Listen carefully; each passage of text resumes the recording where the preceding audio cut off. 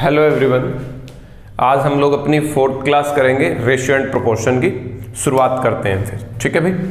चलिए, पहला question board पे लग गया है, पढ़िएगा। क्वेश्चन क्या कह रहा है?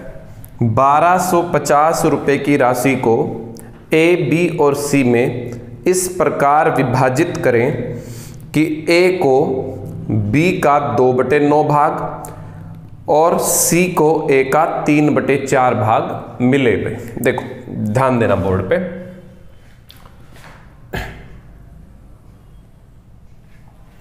देखो भाई क्वेश्चन ने क्या कहा है? ए जो है उसको बी का बी का का, का मतलब भाई गुना। दो बटा नौ भाग। ए को बी का दो बटे नौ। तो यहाँ से रेशो बना लेंगे ए का और बी का भाई। क्या रेशो बनेगा भाई? टू बाय नाइन इस बी को नीचे ले आएँगे। सेम तरीके से उसने कहा सी को। उसने आगे क्या कहा है भाई? सी को ए का तीन बटे चार। ए को नीचे ले आएँगे। सी का और ए का रेशो बन जाएगा three by four three by four by hope so आपको ये बात क्लियर है यहाँ तक की? ठीक है? अब हमें करना क्या है? कंबाइन रेशो बनाना है, जो हमने अपनी पहली क्लास में पढ़ा था। क्या पढ़ा था भाई? जैसे ए यहाँ पे भी है ए यहाँ पे भी है। दोनों की वैल्यू क्या कर लेंगे? सेम कर लेंगे। इन दोनों की वैल्यू क्या कर लेंगे बच्चे? सेम तो इसको गुना करनी पड़ेगी दो से। तो यहाँ रेशियो बनेगा ए का बी का और सी का। भाई, अगर इसको दो से गुना कर लोगे तो चार, और ये भी चार है। इसको भी करनी पड़ेगी क्योंकि साथ में है ना इसके। ठीक है ना? मैंने बताया था पहली क्लास में रेशियो में गुना भाग सेम नंबर से करते हैं, जो उसके साथ में हो, उसको भी करते हैं। ठीक है? तो दो और नौ एक साथ इकट्ठे हैं तो दोनों को दो दो से कर लेंगे, अठारह। बात क्लियर है? सी की वैल्यू कितनी रहेगी? तीन ही रहेगी। एक बार इतना कॉपी करेंगे, फिर आगे सीखते हैं। ठीक है? उतारो जल्दी से।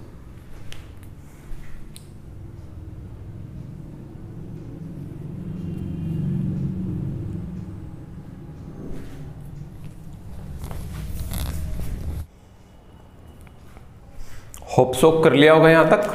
चलिए। अब क्वेश्चन ने आगे क्या बोला था भाई? क्वेश्चन ने आगे बोला था कि भाई 1250 रुपए बांटने हैं। कितने रुपए बांटने हैं? 1250 तो लास्ट क्लास में मैंने सिखाया था आप लोगों को कि भाई कैसे बांटते हैं। बांटने के लिए क्या करना होता है? जोड़ना होता है। 18 और चार बाईस बाईस और तीन पच्चीस। तो 1250 को 25 से डिवाइड कर देंगे। कितना आ रहा है भाई 50 आ रहा है। कितना आ रहा है? 50 सबको 50 50 से मल्टीप्लाई कर लेंगे। तो ये आ गया 200 इसको 50 से मल्टीप्लाई करोगे तो ये आ गया 900 इसको 50 से मल्टीप्लाई करोगे तो ये आ गया भाई कितना? डेढ़ ठीक है? होप सो आपको बात क्लियर है एकदम से, अच्छे से। ठीक है भाई? क्लियर है सबको? चलिए, इसको हम लोग ऑप्शन से भी बना सकते थे इस पॉइंट पे लास्ट वाले पॉइंट पे। बट ऐसे करना ज़्यादा आसान है, ठीक है ना? ऑप्शन के बजाय करना ज़्यादा आसान है। चलिए, अगले क्वेश्चन की ओर बढ़ते हैं। लग गया है बोर्ड पे, पढ़िएगा। क्वेश्चन है चौंतीस सौ रुपए को ए बी और सी और डी में विभाजित किया गया। जिसमें ए और बी बी और सी सी और डी के भागों का अनुपात क्रमशः है। दो अनुपात तीन, चार अनुपात तीन और दो अनुपात तीन है। तो बी और डी के हिस्सों का योग कितना होगा भाई? ठीक है? चलिए, शुरुआत करते हैं। देखो क्वेश्चन ने भाई, हमें सबसे पहले कंपाउंड रेशियो बनाना पड़ेगा। सॉरी कंबाइंड रेशियो करना पड़ेगा चारों का इकट्ठा रेशो बनाना पड़ेगा। उसने दे क्या रखा है हम लोगों को? ए और बी का रेशो दे रखा है दो और तीन का भाई दो का और तीन का भाई बात क्लियर है? फिर उसने रेशो दे रखा है बी और सी का। बी का और सी का रेशो चार और तीन का भाई फिर उसने रेशो दे रखा है सी और डी का। सी का और डी का दो और तीन का भाई तो हमने ये पढ़ रखा है पहली क्लास में सारा का सारा भी। ठीक है, पहली या दूसरी क्लास में जो भी हमने ली थी, उनमें पढ़ा रखा है मैंने। कंबाइन रेशो कैसे किया जाता है भाई होप सो क्लियर है? फिर मैंने बताया था तीन के पीछे खाली तीन। तीन। इस तीन के पीछे खाली तीन। दो के आगे खाली दो दो के आगे खाली दो, चार के आगे खाली चार में फिर गुना कर लो। चार दूनी आठ आठ दूनी सोलह में बारह दूनी चौबीस। नौ दूनी अठारह नौ सताइस मतलब तीन तिया नौ नौ सताइस मैंने मन में कर दिया। यह गया। आ गया इनका कंबाइन रेशो ए का बी का और सी का भी। अब कितने रुपए बांटने थे आपको भी? चौंतीस सौ रुपये आपको बांटने हैं। कितने रुपए बांटने हैं आपको भी? चौंतीस सौ। कितने रुपए बांटने हैं? चौंतीस सौ। तो रेशो में बांटना मैं आप लोगों को सिखा चुका हूँ। ठीक है? तो कैसे बांटते हैं हम लोग ऐड करेंगे इनको? सात, पंद्रह, उन्नीस उन्नीस और छः पच्चीस। कितना आ गया अभी? पाँच। दो और दो चार और एक पाँच पाँच छः सात सात और एक आठ। पिचासी आ रहा है अभी। काट लो। सत्रह दूनी चौंतीस, दो सौ सत्रह, पाँच, पिचासी। पाँच से इसको इजीली कर सकते हो। पाँचों का बीस, चालीस। क्लियर है इतना?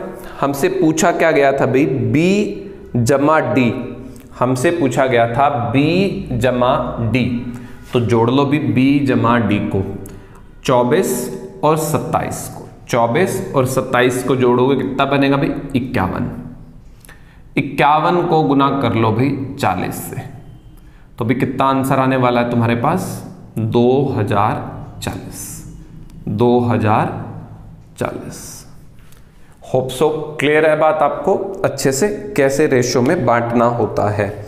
ये मैंने पहले भी सिखाया है। आज की क्लास में मैं आप लोगों को प्रैक्टिस करवा रहा हूँ भाई। ठीक है ना? चीज़ों की प्रैक्टिस करवा रहा हूँ। क्लियर है इतना? हटाऊं मैं इसको।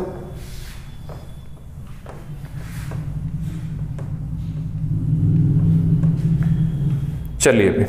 अगला क्वेश्चन लग गया है बोर्ड पे। पढ़िएगा। क्वेश्चन है 370 को ए बी और सी में इस प्रकार विभाजित किया गया कि ए का हिस्सा डिवाइड बाय बी का हिस्सा बराबर है। बी बाय सी बराबर है तीन बटे चार। तो ए का हिस्सा हमें बताना है क्या बनेगा। ठीक है? पढ़िए एक बार क्वेश्चन को।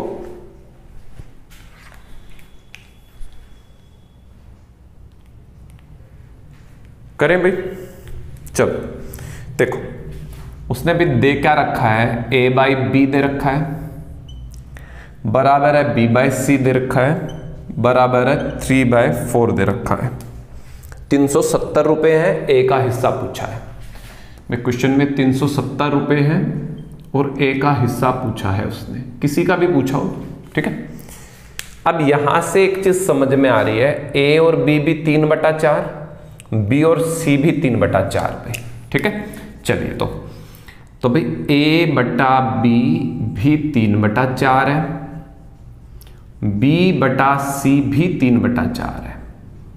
आपको चाहिए A ratio B ratio C clear है बात इतनी? तो दो तरीके सिखा रखे हैं, या तो इनकी वैल्यू बराबर कर लो, सीधे, या लिख के कर लो, मर्ज़ी आपकी, भाई जैसे आपको ठीक लगे। ठीक है, मैंने दोनों तरीके आपको सिखा रखे हैं। तो चार के पीछे खाली चार भर दो, तीन के आगे खाली तीन भर दो, गुना कर लो। तीन त्या नौ तीन चौक बारह, चार चौक सोलह। में उम्मीद है बात समझ में आ गई आपको? ठीक है भाई? हमें ए का हिस्सा बताना है। मतलब तीन सौ सत्तर रुपये को नौ, बारह, सोलह, इसके रेशो में बांटना है। नौ, बारह, सोलह के रेशो में बांटना है। ठीक है? बांटते कैसे भी जोड़ लो 28 और 9 सैंतीस। 370 से 370 को भाग कर दो, सैंतीस से भाई कितना आ रहा है काट के भाई? 10 किसका हिस्सा पूछा था? ए का। गुना में 10 डाल देना भी, नब्बे। खत्म। उतारो जल्दी से।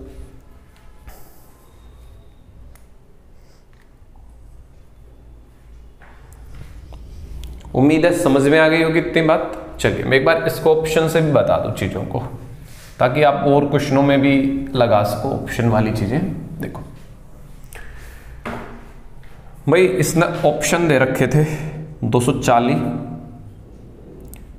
120 100 नब्बे।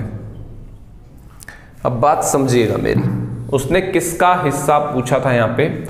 उसने ए का हिस्सा पूछा था यहाँ पे। ए का हिस्सा कितना है नौ? वो नंबर पकड़ लो जो नौ से कटता हो। क्या 240 नौ से कटता है भाई? क्या 120 नौ से कटता है? क्या 100 नौ से कटता है? बस, खत्म। तो रेशो में क्वेश्चंस ऐसे उड़ाए जा सकते हैं, ठीक है? बात क्लियर है? कोई भी क्वेश्चन आ जाए इस टाइप का, कोई भी जिसमें अकेले का हिस्सा पूछा हो या किन्हीं दो का जोड़ के पूछा हो। जैसे पिछला करा था ना वो, जिसमें सत्ताईस और चौबीस इक्यावन आया था ना, लगभग वो भी बन जाता हमारा, ठीक है ना? तो भाई चीज़ें बन जाती हैं। हाँ कई बार दो ऑप्शन फंस जाए तो भाई बात अलग है, ठीक है? अगर मान लो भाई वो कोई दो ऑप्शन बना दे, मान लो एक ऑप्शन मैंने दे दिया 270 है ना? तो ऐसी सिचुएशन में आपको फिर करके ही देखना पड़ेगा, आप अंदाज़ा नहीं लगा पाओगे। ठीक है? हालाँकि हम बता तो सकते हैं, क्योंकि यहाँ पे नंबर बहुत छोटा था 370 370 में से 270 इसका होना पॉसिबिलिटी नहीं है है ना? तो हम लोग इस पर भी जा सकते फिर भी एक क्लोज आंसर हो, मान लो इक्यासी उत्तर दे दे तो भाई फिर फंस जाओगे यहाँ पे, है ना? तो ऐसी सिचुएशन में करके देखना पड़ता है आप लोगों को। ठीक है? चलिए, आगे बढ़ेंगे फिर। उतारो जल्दी से इसको उतारो।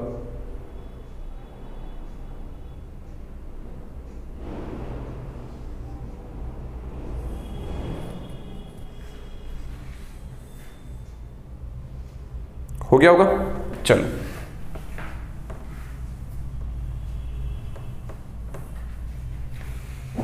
नेक्स्ट क्वेश्चन लग गया है बोर्ड पे। क्वेश्चन है, तीन संख्याओं का अनुपात तीन, अनुपात दो, अनुपात पाँच है। और उनके वर्गों का योग अठारह सौ बासठ है। तो सबसे छोटी संख्या बतानी इस टाइप का मैंने करवाया भी था आप लोगों को। ठीक है? शुरुआत की क्लास में। तो मैं एक बार और करवा रहा हूँ। उसने कहा भी तीन संख्याएँ, तीन के, दो के और पाँच के अनुपात में है। इनके वर्गों का योग अठारह सौ बासठ मैंने बताया था, जब भी भी गुना करनी पड़े स्क्वायर करना पड़े क्यूब करना पड़े, ऐसे में x ज़रूर लेना है आपको साथ में भी। तो इसके साथ में x लेना आपको ज़रूरी है ताकि क्वेश्चन गलत ना हो जाए। वर्गों का, वर्ग मतलब स्क्वायर स्क्वायर कर लो। नाइन एक्स स्क्वायर दो का स्क्वायर करोगे four x square five x का स्क्वायर करोगे, पच्चीस एक्स स्क्वायर और ये बराबर बनेगा अठारह के। किसके बराबर बनेगा भाई? इनका जोड़ अठारह के बराबर बनेगा इनका जोड़ भी तो जोड़ लो इनको भी। 25 चार उनती उनतीस और नौ अड़तीस भी अड़तीस एक्स स्क्वायर बराबर है अठारह के। एक्स स्क्वायर निकाल लेंगे। अठारह बटे अड़तीस पे। अठारह बटे अड़तीस पे। ठीक है? तो एक बार इसको हम लोग डिवाइड करने की कोशिश करते हैं। कितने से जाएगा ये? लगभग ये लगा लो, सात पे चलना चाहिए। सात पे या छः पे? सात पे, नहीं, सात पे तो नहीं, ज़्यादा नहीं हो जाएगा छः पे भी ज़्यादा हो रहा है है ना? पाँच पे चल रहा होगा फिर ये। या छः पे देख के चला के एक सौ अस्सी, नहीं छः पे तो नहीं जा रहा है, पाँच पे देख लो डेढ़ सौ एक सौ नब्बे, पाँच पे भी नहीं जा रहा है, चार पे जा रहा है। ठीक है? चार बार में कटेगा ये इससे। तो चार आ गया। और पीछे दो है तो आठ चौक बत्तीस। उनचासी आता होगा क्योंकि एक स्क्वायर नंबर वही बनेगा यहाँ पे, है ना? तो हाँ वही आएगा, उनचास आ जाएगा काट के, ठीक है? तो x की वैल्यू निकाल लेंगे, यहाँ पे कितना आने वाला है? सात। क्योंकि एक्स स्क्वायर उनचास है तो x की वैल्यू कितनी बनेगी भाई? सात बनेगी। ठीक है? देखो, मुझे आइडिया आ गया कि ये चार की लाइन में कट रहा है। चार की लाइन में एक स्क्वायर नंबर उनचास होता है और कोई होता भी नहीं है, ठीक है? इसलिए मैंने डायरेक्ट 49 लिखा है यहाँ पे। और एक्स स्क्वायर उनचास तो एक्स की वैल्यू कितनी बनेगी? सात बनेगी। चलिए, उतारो एक बार जल्दी से इतना, फिर आगे बढ़ेंगे।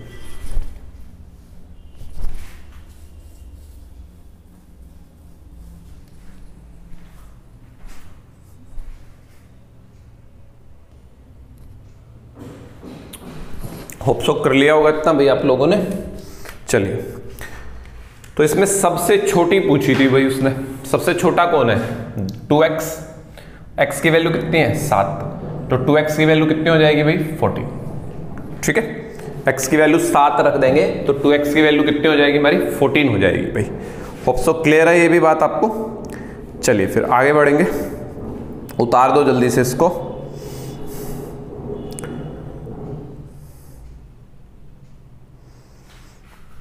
चलिए, आगे बढ़ते फिर। एक बड़े ही अच्छे लेवल का क्वेश्चन लगा रहा हूँ। बेसिक क्वेश्चन है बट अच्छे लेवल का है, ठीक है? पढ़ो। क्वेश्चन है, एक व्यक्ति ने कुछ कलम अपने दोस्तों ए बी सी और डी में एक बटा तीन, अनुपात एक बटा चार, अनुपात एक बटा पाँच, अनुपात एक बटा छ के अनुपात में बांटी। तो उसके पास कम से कम कितनी संख्या में कलम है भाई? मतलब कम से कम कितनी होनी चाहिए भाई? ये आपसे पूछ रहा है क्वेश्चन के अंदर। देखिएगा भाई। देखो ट्रिकी होते हैं ऐसे ऐसे क्वेश्चंस कुछ भी नहीं दे रखा, फिर भी भी क्वेश्चन करना पड़ेगा आपको। ठीक है ना?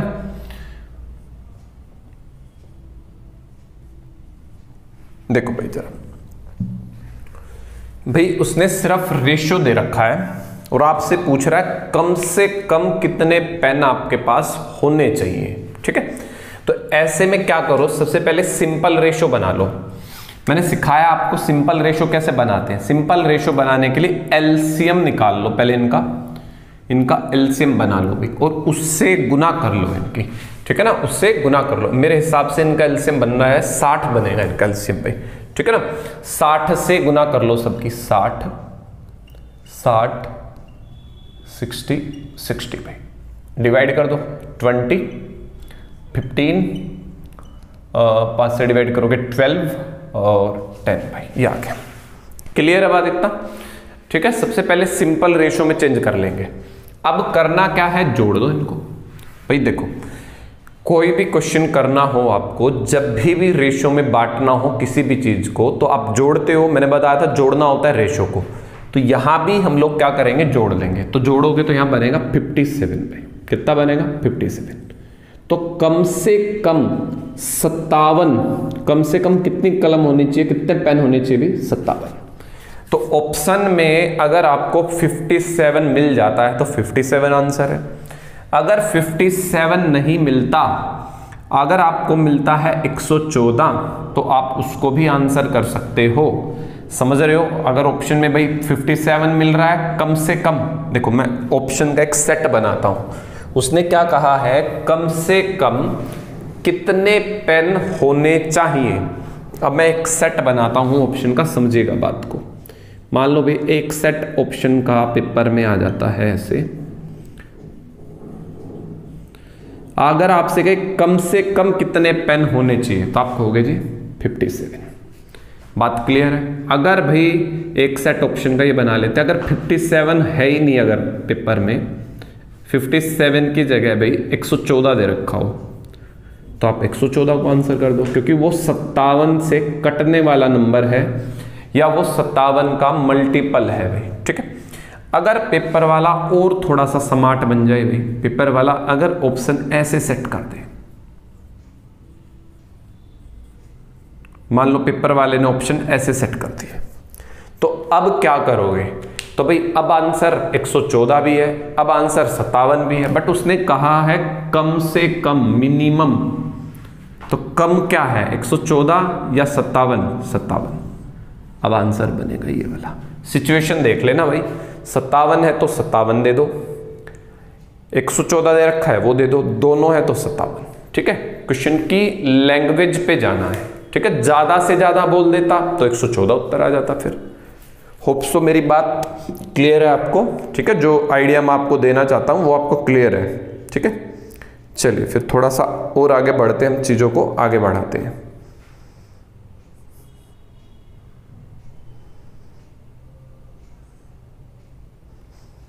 हो गया होगा ये वाला भी? चल।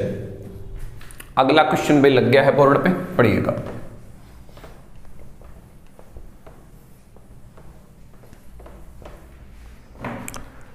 देखो भी क्वेश्चन क्या कह रहा है? दो संख्याएँ इस प्रकार है कि एक का वर्ग 224 कम है, दूसरी संख्या के वर्ग के आठ गुने से। दूसरी संख्या के वर्ग के आठ गुने से। यदि संख्याएँ तीन अनुपात चार के अनुपात में हो तो उनका मान ज्ञात करें वे ठीक है? वो दोनों संख्या आपको बतानी है। क्या क्या बनेगी? ठीक है भाई, चलिए फिर। हम स्टार्ट कर, देखो क्वेश्चन ने क्या कहा है? दो संख्याएँ इस प्रकार है कि एक का वर्ग 224 कम है। दूसरी संख्या के वर्ग के आठ गुने से। देखो भाई, उसने क्या कहा है? दो संख्या है इस प्रकार से भाई। एक तीन है और एक चार है। तो मैंने वर्ग वाले क्वेश्चन में स्क्वायर वाले क्वेश्चन में बताया एक्स लेना। ठीक है? ज़रूरत है हमारी, ज़रूरी है एकदम से मैंडेटरी है। क्लियर है बात? अब उसने कहा, एक संख्या का वर्ग दूसरी संख्या के वर्ग के आठ गुने से 224 कम है। अब इस क्वेश्चन में प्रॉब्लम यह है, किसका आठ गुना करोगे? ठीक है ना? तो अंदाजे से भाई इसमें दो केस बन सकते हैं, ठीक है? वो अंदाजे से आपको करना पड़ेगा। चलो, मैं यहाँ से कर रहा हूँ। उसने कहा, क्या क्या कहा? एक संख्या का वर्ग दूसरी संख्या के वर्ग के आठ गुने से 224 कम। तो भाई मैं इस संख्या का वर्ग कर लू पहले। No x square. मैं इसका भी वर्ग कर लेता हूँ, सोलह एक्स स्क्वायर। बात क्लियर है? मैं इसका आठ गुना कर रहा हूँ भाई, इसका। आठ गुना। तो नौ अठे बहत्तर। नौ अठे बहत्तर भाई। कम तो घटा दो भाई दोनों को आपस में। कितना आना चाहिए? 224 कितना आना चाहिए भाई? 224 तो 12 में से 6 घटाओगे 6 बचा। 6 में से एक छप्पन आ रहा है। एक्स स्क्वायर बराबर है 224 अगर आप इसको उल्टा कर देते तो ये भाई इससे कटता नहीं।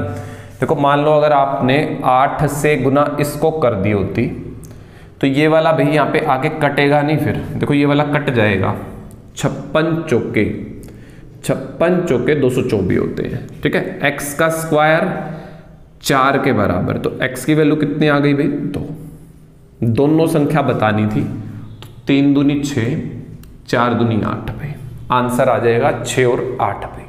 छ और आठ भाई। आंसर क्या बनेगा हमारे क्वेश्चन का भाई छ और आठ। उतारो जल्दी से।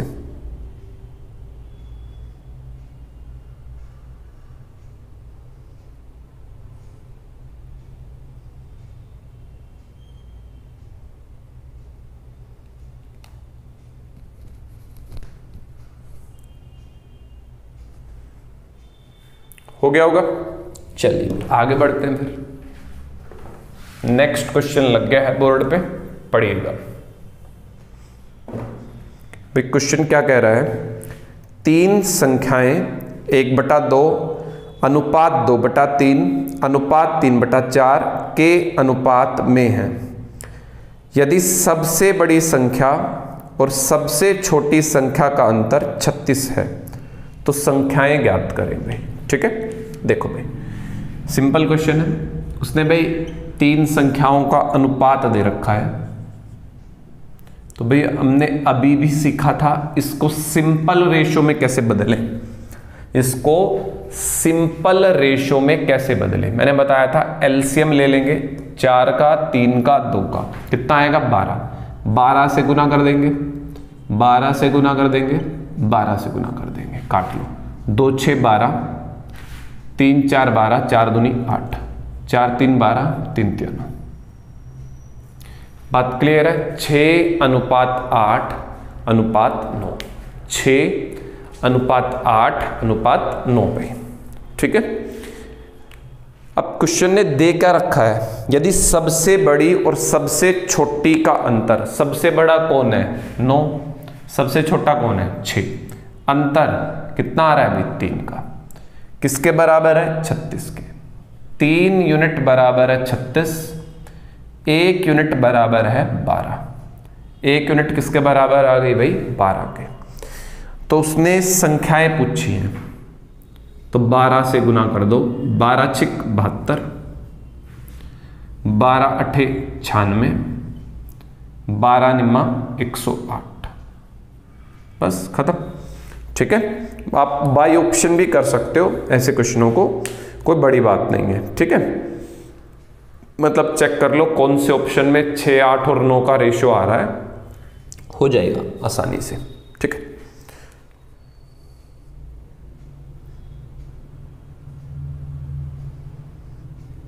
हो जाएगा ये भी? चलिए आगे बढ़ते हैं फिर थोड़ा सा।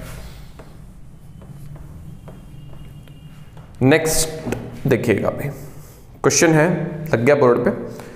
क्वेश्चन है 555 रुपए को ए बी और सी में एक बटा चार, अनुपात एक बटा पाँच, अनुपात एक बटा छ में विभाजित करना था, लेकिन गलती से चार, अनुपात पाँच, अनुपात छ में विभाजित कर दिया। तो सी द्वारा कितनी अधिक राशि प्राप्त की गई हुई? देखो, समझेगा बात को, क्वेश्चन कहना क्या चाहता है? भाई क्वेश्चन ये कहना चाहता है, पैसे बांटने थे इस अनुपात में। भाई, जो पैसे बांटने थे ना, वो इस अनुपात में बांटने थे। पैसे ऐसे बांटने थे। आपने गलती कर दी, आपको रेशो की नॉलेज नहीं थी, ये समझ लो चाहे। आपने पैसे बांट दिए भाई, इस तरीके से। पैसे बांटने तो ऐसे थे, गलती से बांट दिए ऐसे भाई। तो वो कह रहा है, सी बंदा जो सी है, ये ए है, ये बी है, ये सी है, ऐसे समझ लो। ये ए है, ये बी है, ये सी है। तो सी को कितने रुपए ज़्यादा मिले? बात समझ में आ गई? देखो, पैसे बांटने तो ऐसे थे। बांट दिए ऐसे। तो गड़बड़ तो हो गई ना? गड़बड़ पे फ़ायदा तो मिलेगा। किसको फ़ायदा हो रहा है? देखा जाए तो सी को फ़ायदा हो रहा है। देखो सी को कम मिल रहे थे। देखो एक को छोटे नंबर से भाग करोगे, बड़ा उत्तर आएगा। बड़े नंबर से भाग करोगे, छोटा आएगा। तो सी को कम पैसे मिलने थे छ सबसे ज़्यादा मिल गए। मतलब सी को यहाँ फ़ायदा पहुँच रहा है। कितने ज़्यादा, कितने अधिक, ये पूछ रहा हूँ आपसे। तो भाई बांट लो फिर पैसे, कितने रुपए हैं? 555 पहले इसमें बांटो, फिर इसमें बांटो, फिर दोनों का अंतर करना पड़ेगा। ठीक है? सबसे पहले इसका सिंपल रेशो बना लो भाई। सिंपल रेशो कैसे बनेगा? इसका एल्सियम बनाना पड़ेगा। 60 आएगा। 60 से गुना 60 से गुना 60 से गुना। काट लो भी 15 आ रहा है 12 आ रहा है 10 आ रहा है। तो भाई, इस रेशियो में 555 को बांट लो। 15 12 27 और 10 सैंतीस। 555 भाग में सैंतीस। सैंतीतिया 111 तीन पाँच पंद्रह। पंद्रह आ गया भाई काट के। कितना आ रहा है? पंद्रह। सी को कितने मिलेंगे भाई यहाँ पे? डेढ़ सौ रुपए मिलेंगे सी को। अब यहाँ बांट लो भाई। छ पाँच, ग्यारह ग्यारह और चार भाई। सोलह? नहीं छ पाँच, ग्यारह, पंद्रह भाई सॉरी पंद्रह से काट लो इसको। पंद्रह तीन पैंतालीस, पंद्रह सत्ता एक सौ पाँच। सैंतीस। ठीक है? तो सी को कितने मिलेंगे? सैंतीस गुना में छ, दो सौ बाईस रुपये मिलेंगे। कितने ज़्यादा? पचास और बाईस सॉरी बहत्तर रुपये बस, खत्म क्वेश्चन उतारो जल्दी से। आज समझ में आ गई ना, पैसे गलत बांट दिए तो आपसे पूछ रहा है, सी को कितने ज़्यादा मिले, है ना? हो जाएगा? उम्मीद है मुझे। एक और क्वेश्चन करेंगे, बिल्कुल इसी टाइप का। ताकि आपको अच्छे से बात क्लियर हो जाए भाई। हो गया ये वाला तो? चलिए। एक और क्वेश्चन लग गया है बोर्ड पे सेम टाइप का। देखो क्वेश्चन क्या कह रहा है? 117 रुपए की राशि को एक बटा दो, अनुपात एक बटा तीन, अनुपात एक बटा चार में विभाजित करने की जगह गलती से दो, अनुपात तीन, अनुपात चार में विभाजित कर दिया गया।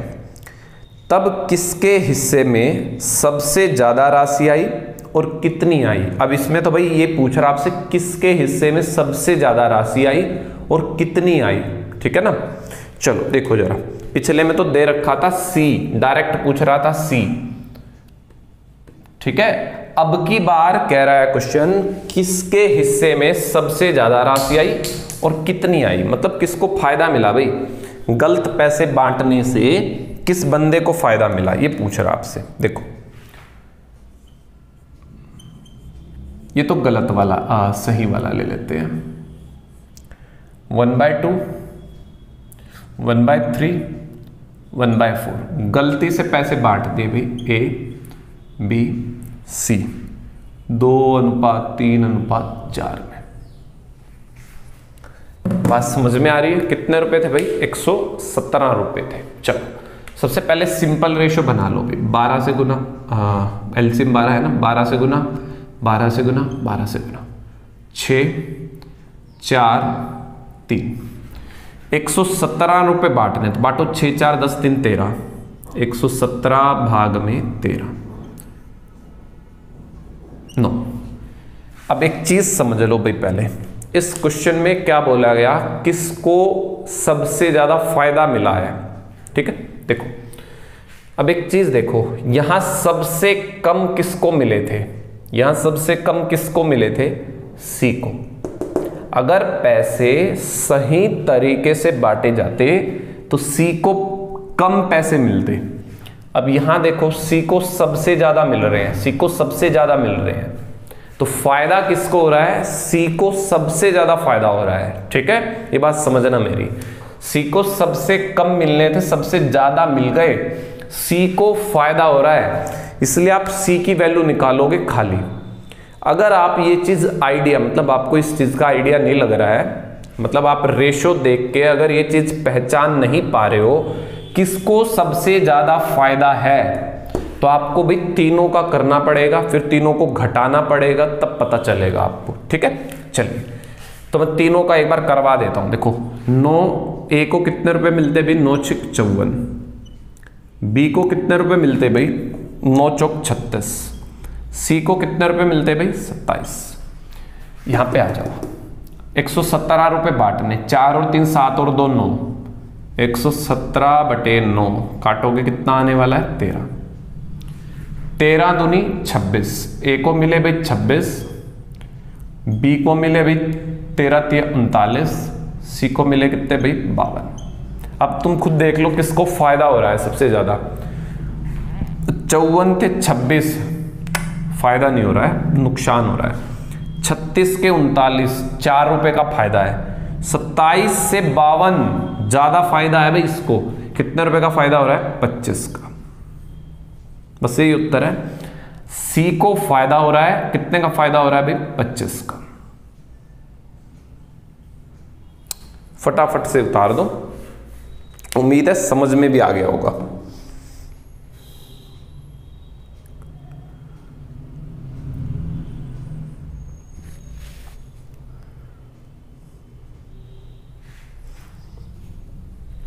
हो गया। चलिए, एक लास्ट क्वेश्चन करते हैं आज का भाई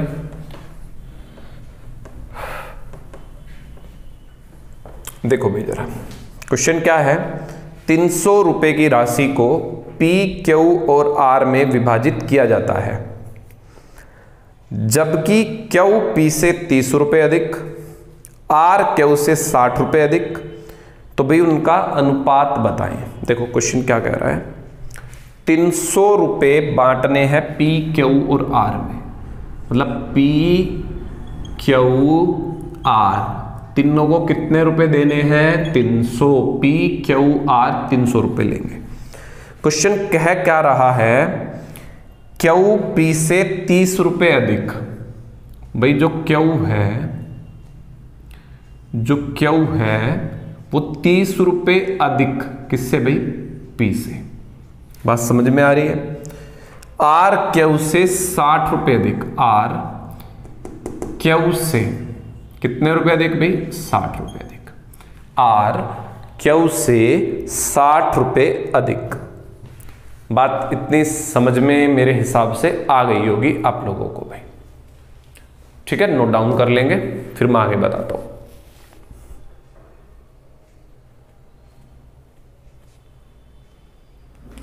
हो गया अभी क्लियर इतना? किसका हिस्सा पूछा है? तीनों का। तीनों का अनुपात पूछा है उसने। अब आप क्यू की वैल्यू यहाँ रख सकते हो P जमा थर्टी। पी जमा थर्टी, तीस और साठ नब्बे हो जाएँगे। तो भाई ये वाली वैल्यू और ये वाली वैल्यू इसमें रख दो। ठीक है भाई? इसमें रख लो। चलिए भाई। तो P जमा क्यू क्यू की वैल्यू है P जमा तीस। मैंने इसलिए करा, ये भी P बन गया, ये भी P बन गया। देखो, Q भी P बन गया, R भी P बन गया, इसीलिए, ठीक है? मतलब उसकी टर्म में आ गया। R की वैल्यू रख दो P जमा नब्बे, किसके बराबर है? तीन सौ के। एक, दो, तीन। तीन पी जमा एक सौ बीस बराबर है तीन सौ के। तो तीन पी बराबर है 120 घटा देंगे 180 के। पी की वैल्यू आ जाएगी तुम्हारे पास 60 में। तो पी की वैल्यू 60 है तो क्यू की वैल्यू 90 और आर की वैल्यू भी रख लो यहाँ पे 60 और 90 डेढ़ सौ। पूछा क्या था भाई, तीनों का रेशो पी का क्यू का आर का? तीनों की वैल्यू रख लो भाई 60 क्यू की वैल्यू 90 आर की वैल्यू डेढ़ सौ काट लो इनको तीन तिया नौ सॉरी तीन दूनी छ तीन तिया नौ तीन पाँच पंद्रह ये हमारे क्वेश्चन का आंसर रहेगा भाई दो अनुपात तीन अनुपात पाँच भाई दो अनुपात तीन अनुपात पाँच ऑप्शन से भी जा सकते हो बट वहाँ चार ऑप्शन करने पड़ेंगे तो इतना ही लेंदी हो जाएगा। मतलब इससे भी ज़्यादा लेंदी हो सकता है, ठीक है? तो ऑप्शन से एक ही बात है। मर्ज़ी आपकी?